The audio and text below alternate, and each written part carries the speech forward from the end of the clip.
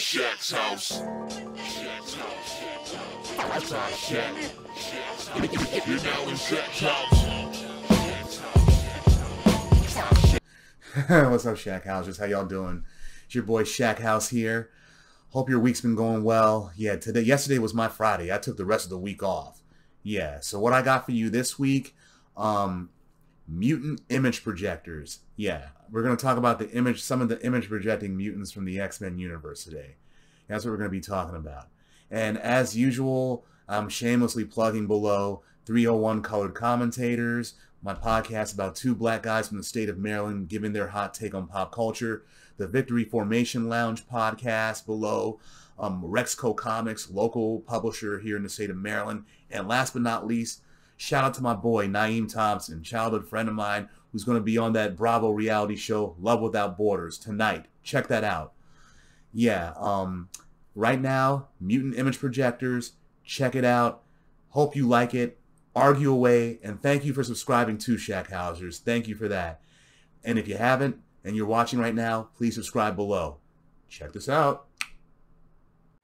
Genesis, Tyler Dayspring. Tyler Dayspring possesses the mutant power to forge a mental link with the minds of others.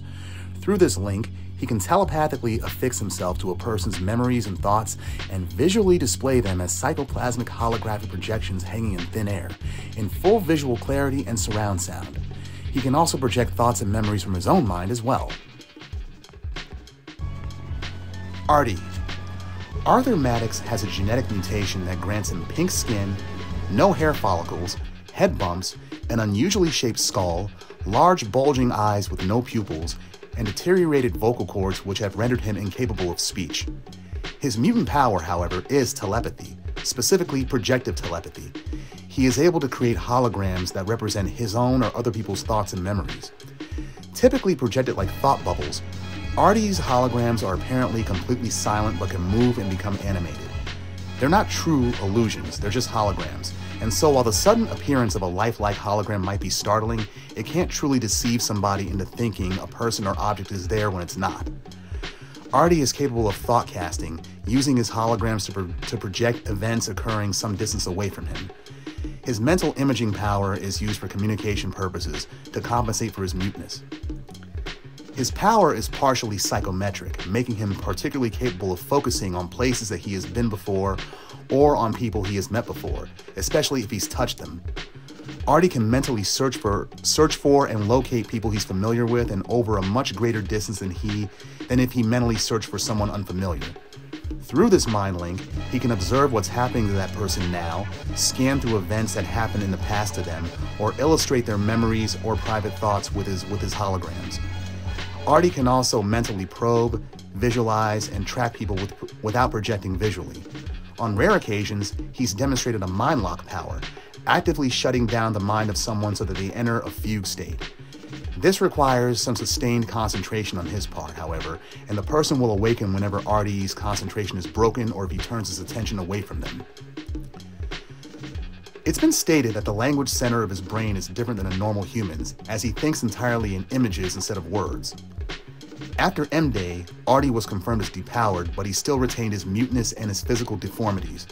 When he joined the Fantastic Four Future Foundation, he was given a helmet invented by Valeria Richards that mimics his mutant imaging power.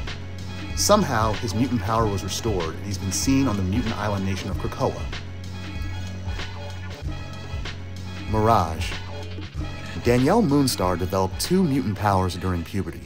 First, she can establish a quasi telepathic rapport with animals and insects, allowing her to read their minds, project images from their minds, and see through their eyes. She can communicate with them as well, communicate communicate with animals, primates, but not including human beings, members of the dog and cat families, including wolves and mountain lions, for example, aquatic life, and even insects, exchanging thoughts and empathic impressions with them, as well as psionically asking these creatures for assistance. Her power is even effective on individuals with animal hybrid like powers, like her teammate Wolfsbane, for example. Dani later became one of the Asgardian Valkyries, and this gave her a presence of death, detectable and feared by Asgardian races and others sensitive to such things. Her powers as a Valkyrie allowed her to forecast someone's imminent death by perceiving their own personal private image of death looming over them, be it an angel, a priest reading last rites, etc.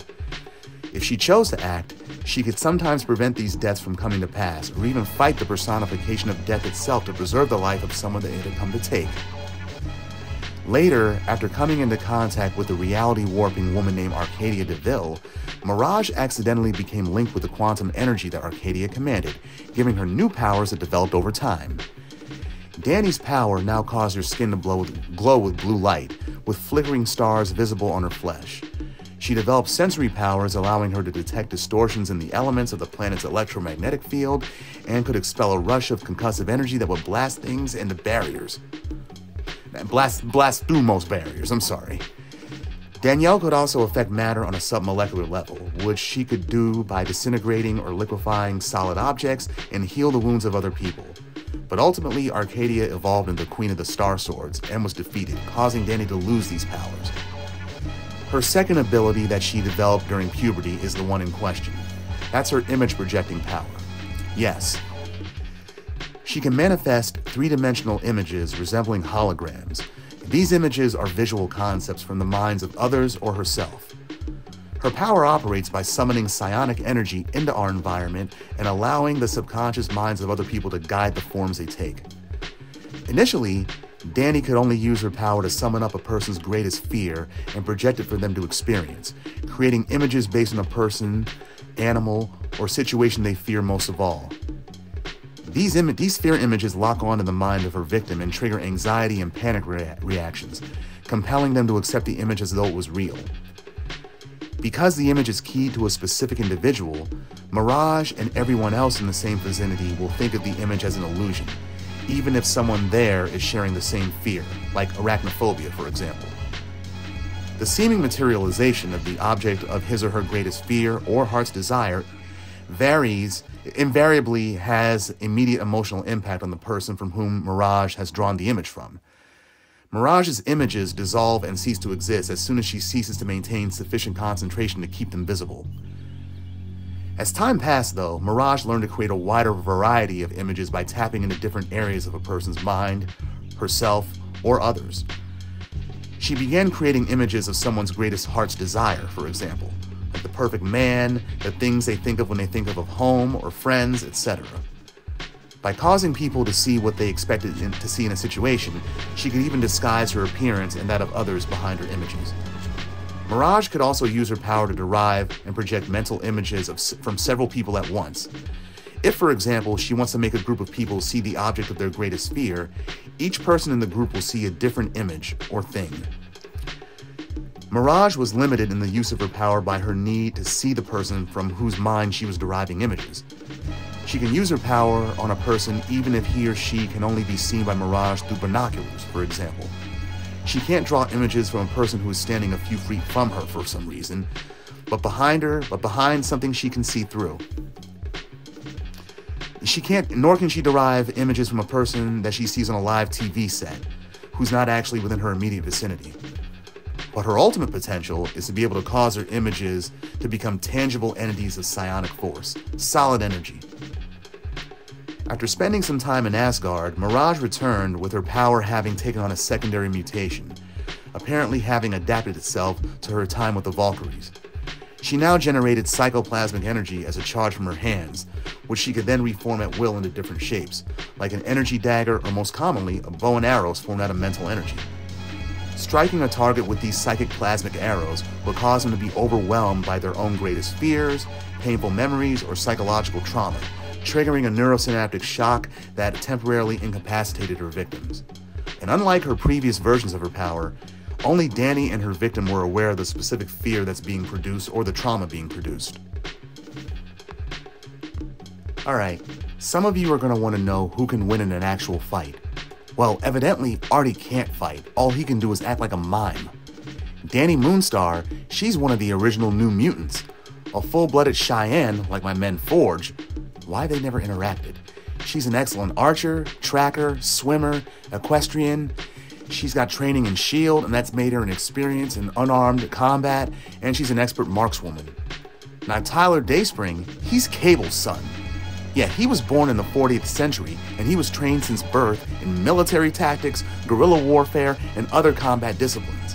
And for years in this era, he was posing as a simple arms merchant named Tolliver, who employed his father's group, the Six Pack, his father's clone, Strife, and most notably, Deadpool.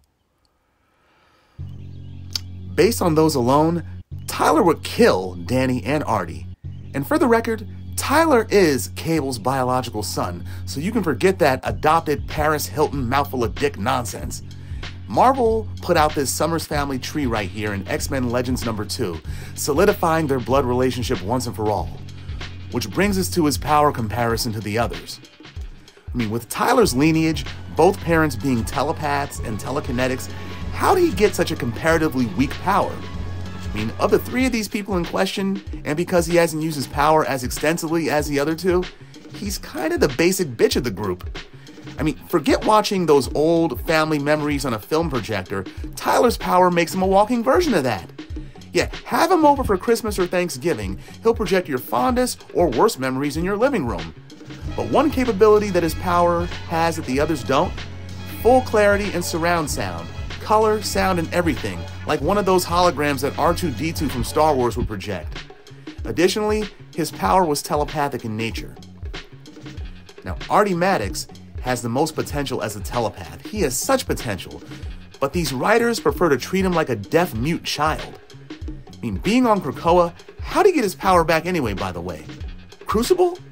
And if so, then why the hell didn't the Resurrection 5 fix his vocal cords so he wouldn't be a poor man's black bolt for the rest of his life? I kid, I kid. His image projecting power has been inconsistent over the years. I mean, originally, he just projected mental holograms of thoughts and memories for all to see, sometimes moving, sometimes not, but no sound.